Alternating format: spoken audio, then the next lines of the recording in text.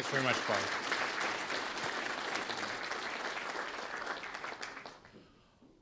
Well, you know, when I, uh, when I first talked to Parham uh, about coming and uh, speaking, you know, frankly, I thought I would still be standing up here as the federal uh, CISO, but that didn't happen. Uh, so I've changed actually the title of uh, my presentation from securing the front lines to some recommendations for the next administration or the new administration. You know, there's a couple of uh, issues that I think that are uh, very noteworthy that collectively all of us have to be concerned about as we try to meet our mutual goal of supporting an open and transparent government that protects the people's information while preserving privacy, civil rights, and civil liberties. And the first one, and I've got only four slides here, uh, the first one is we need to fix the architecture. Right now, the current federal architecture is built on an org chart. Every single department and agency is doing their own thing. And if you take a look at how money is authorized and appropriated by the Congress, it's all based on the stovepipes. It's all based on a 1980-ish organizational chart structure. That doesn't produce results that are effective, efficient, or secure. It's completely unbalanced. And frankly, as we take a look at trying to get the right configurations, trying to uh, leverage best practices, trying to leverage cloud and mobility, and to do it securely, despite the efforts of people like you and me, ISC squared and others, to grow that next generation of cyber professionals, it's a very active marketplace. We need to consolidate our, our lines. We need to do a better job.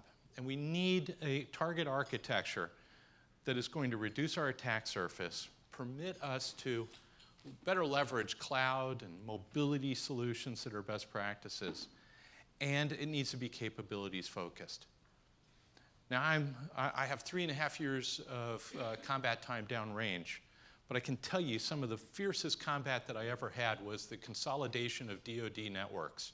It was a 10-year protracted struggle, but we were able to prove that you can, in fact, consolidate networks. You can, in fact, consolidate email over a large organization. It's high time that in the .gov domain, that we take the lessons learned that we had in the .mil domain and produce results that are more effective, efficient, and secure. And while I was uh, uh, in my federal service, uh, my team and I, we collaborated across the different departments and agencies in the CISO Council that we formed. And this is something that we've already kickstarted, and I'm hoping that the new administration is going to follow through on. And by the way, anybody know what that picture is? Uh, what, the Tacoma Narrows Bridge. That's Galloping Gertie. Great architecture at the time until it had first contact with winds down the, uh, the Narrows itself. Amen. Okay. What's the next recommendation? We need to double down on CDM. CDM provides some capabilities that, frankly, we're deficient on. And if once we roll out the continuous diagnostics and mitigation program to its full extent, we're going to be able to answer what's on my network, who's on my network, and what the heck's going on on my network. Right now, there's some pockets out there in the federal government that don't have good answers to any or all of these. CDM, and you're going to have a session on this a little bit later today. This program provides some basic capabilities that are going to help answer these questions. Frankly, I believe that we are late to need on these capabilities. They should have been built in from the start. We should have baked into our networks cybersecurity uh, basics that would answer these questions and provide us these capabilities. But as we move forward, we've got to implement this program. We need this in order to better manage our risk. And the new administration I strongly encourage them and uh, every department and agency to field these capabilities as fast as we can. Otherwise, we are not in a position to meet our mission objectives. The third proposition follows what uh, Parham and others have said. And that's basically we need to follow the flight plan. And um, Parham mentioned uh, some of my uh, major strategic elements. And the first one was harden the workforce.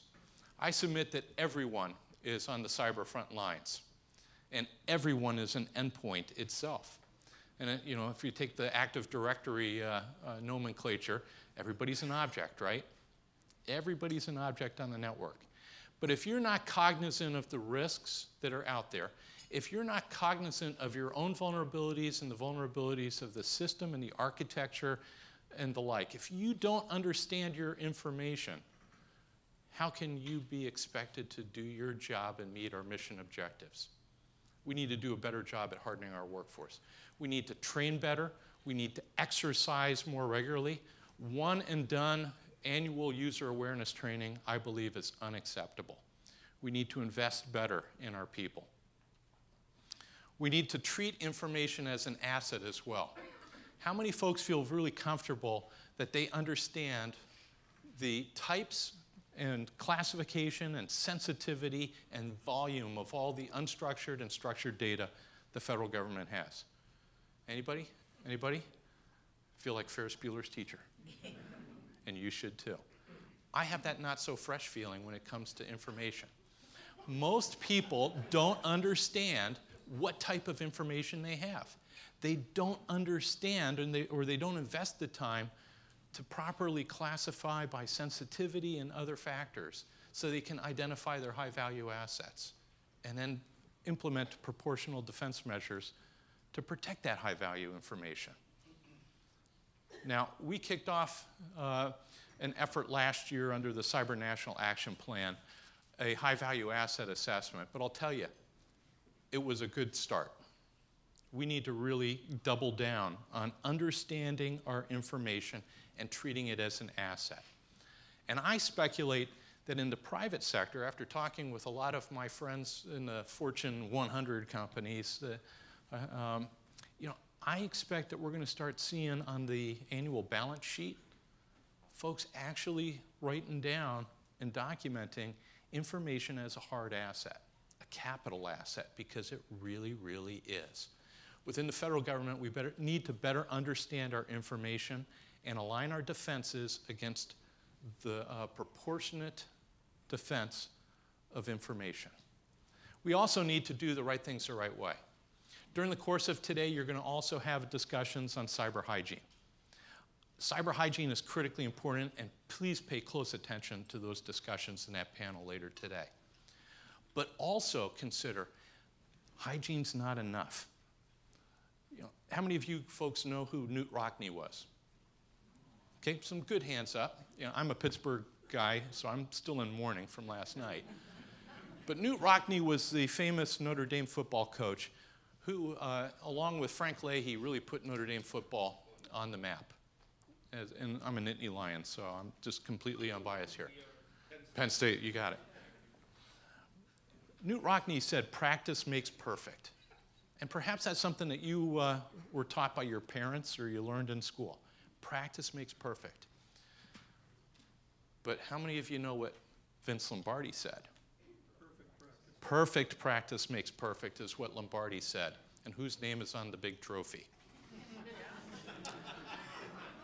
Doing the right things the right way is more than just cyber hygiene. It's practicing perfectly and getting closer to perfect each and every time. We need to beef up the amount of exercises we do, and we need senior leaders and senior managers to play. Exercises shouldn't just be for the folks that have that IT and cyber stink on them. It's everybody should be playing. We also need to continually, uh, continuously innovate and invest wisely. How many of you have heard of Touhill's Law? Not few hands. Okay. So, let me explain something to you. Because picture yourself in a boardroom and you're trying to make the business case to a board why you need to recapitalize some gear uh, or some software or maybe your entire network. Have you ever heard of the phrase one human year equals seven dog years? Okay? Go with me on this. Okay, is there anybody here from Health and Human Services? Nobody? Okay, well, according to the Department of uh, Health and Human Services, the average lifespan for an, an adult uh, here in the United States is 78.7 years. I'm going to round that down to 75 because it makes the math easier as I go forward. How many of you have heard of a company called Microsoft? Shameful that no more hands are not being raised. I contend that Microsoft and great companies like it, American companies, will come out with a groundbreaking evolutionary uh, leap forward every three years or so. Every three years or so. So if I take 75, divide that by 3, I get 25. And therefore, under Touhill's law, I submit that one human year equals 25 computer years. I further contend, completely disassociated from Touhill's law, that we have a bunch of computers in the federal government that are over 2,000 years old.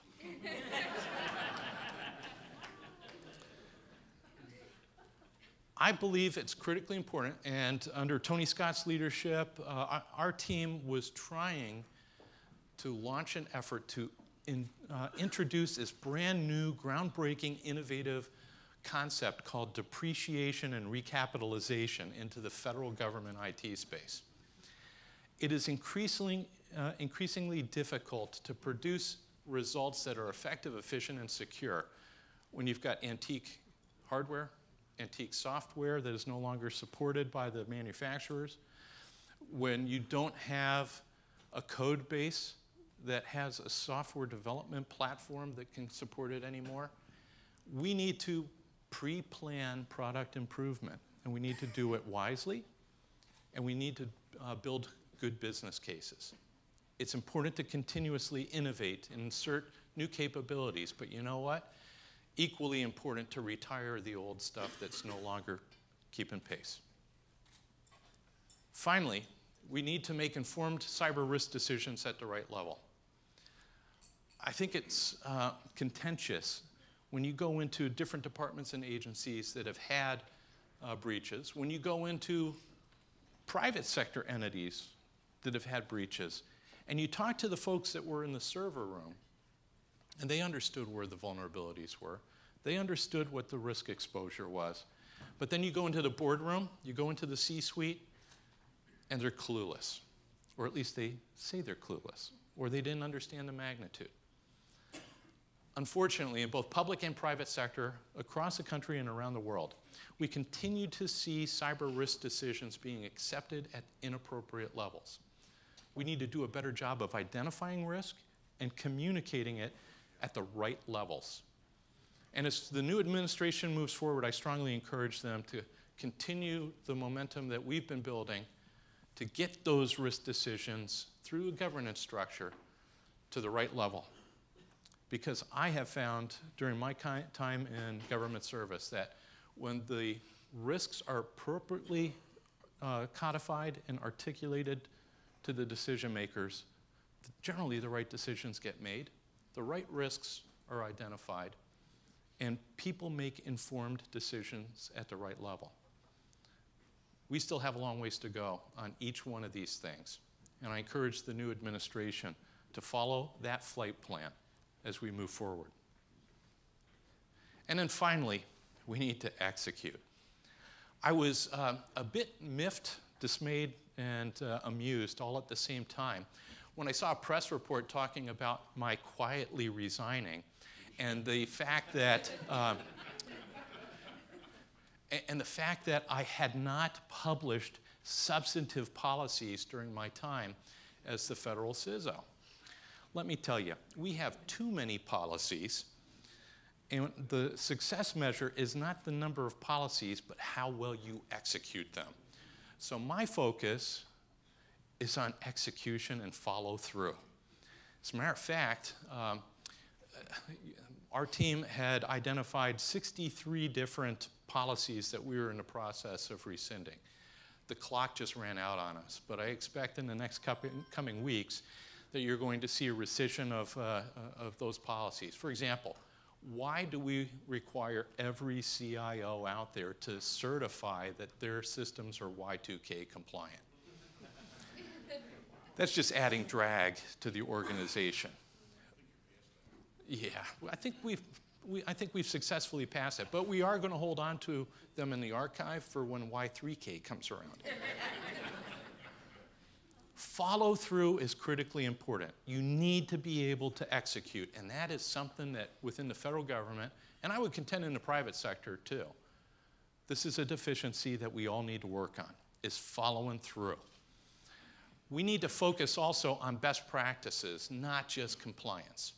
I would submit that if we follow the model of you know, just, just compliance, we're never going to get best practices just with government bureaucracy, just with private sector bureaucracy, the time it takes to put together the little compliance checklist can't keep up with the development of best practices.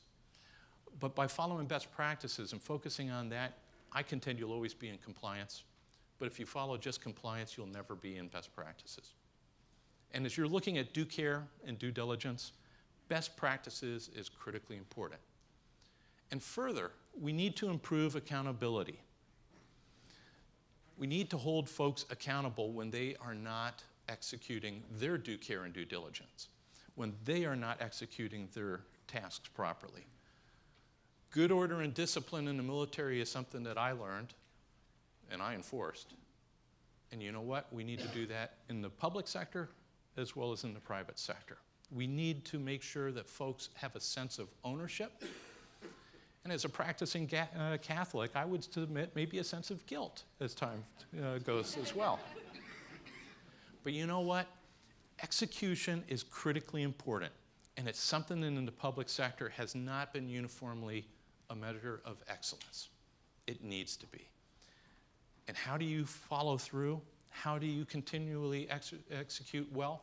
You need to continually monitor how you're doing. CDM is going to help with that. But you also need to continuously exercise. Do you think Jack Nicklaus has a pretty good follow through? I would submit, yeah, that's a pretty sweet swing. And as a Air Force officer, I golfed every year, whether I needed it or not. but Jack Nicklaus is a Hall of Famer.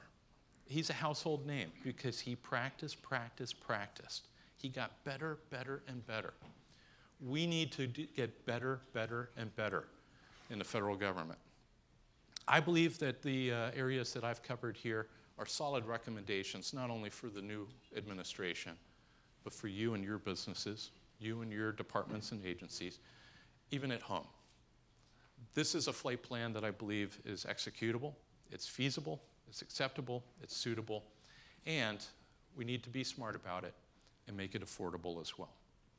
And with that, I'd like to thank our uh, sponsors for today. Thank you so much for uh, hosting us today. I think we're going to have a great conversation. And do I have time for two questions? Yeah. I'd have time for two questions. Sir.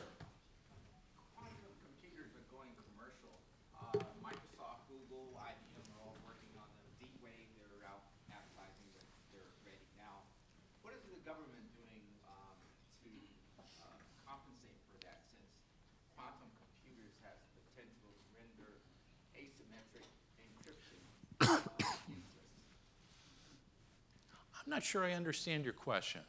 Um, are, are, you asking what role the government has in underwriting commercial ventures?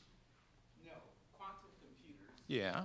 have the ability to decrypt asymmetrically. Oh, yeah, okay.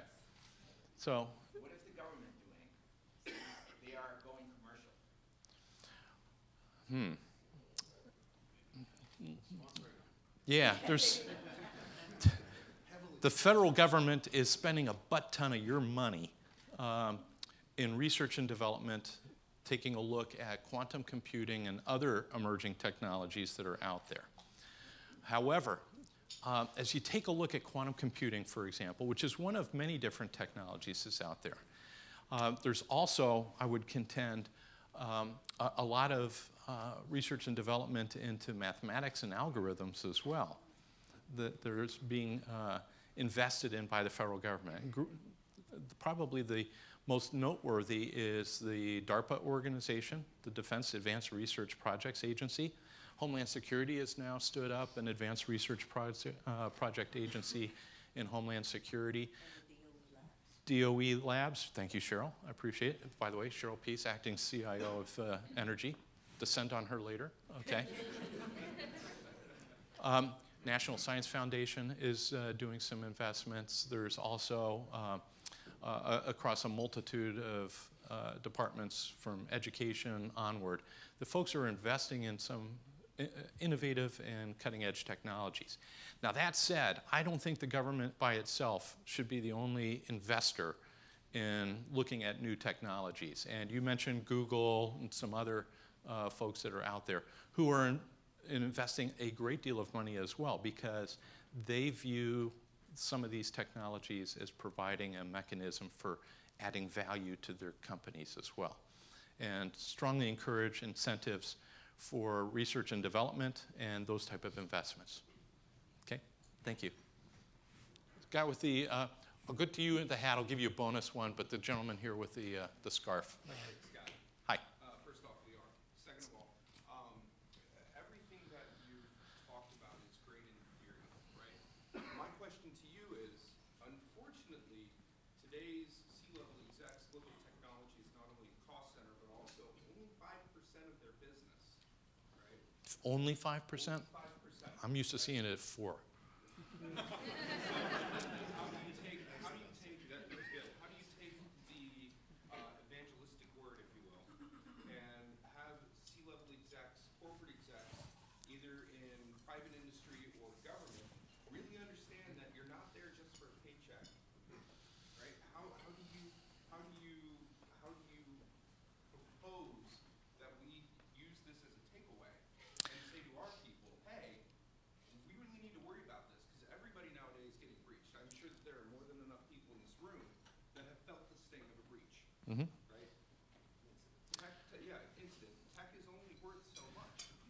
Right. There's only so much that I can fit into a 20-minute presentation, so I do have to keep it at the strategic level. But let me uh, address this. First of all, you've got to make your business case, and you also have to have your, um, I, I won't call it an elevator speech, but I mean, it's, you've got to be concise in making the business case. You know, for example, if you take a look at uh, the OPM breach, okay, how much did it cost for the identity theft protection contracts?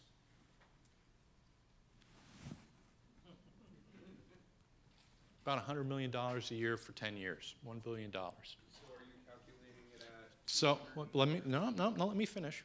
Let me finish. So, if I'm going to go in there and I'm going to make my business case, multi-factor authentication, for example, one of my favorites, great countermeasure, or whitelisting. There's, you've got to make the business case. You say, here's what I want to do. Here's the threat that's out there that it could act on this. By the way, this, this capability blocks or you know plugs up a weakness here and this vulnerability. Here's what the cost is. Here's what the potential cost of consequence would be. So it's a pay me now, pay me later type of uh, discussion. You need to be able to prepare to do that. And you need to also take a look at the total cost of ownership of that countermeasure and that compensating control. Often folks just come out there and they say, hey, I want to go buy this tool. And for guys that are sitting on the board, they say, oh, that's really cool. It's really, a, you're, you're presenting it more as a toy, as a tool. You're not showing me what the true business case is. Total cost of ownership. How long do I need to own this? And oh, by the way, what happens if I don't? And then further, I don't want to go and spend 10 bucks to protect five bucks worth of information. We as a community need to do a better job speaking the business language as opposed to just the technology language. So uh, we could take that conversation offline because there's some other great speakers coming up, and I've got a bonus question that I've got to give, and then I got to.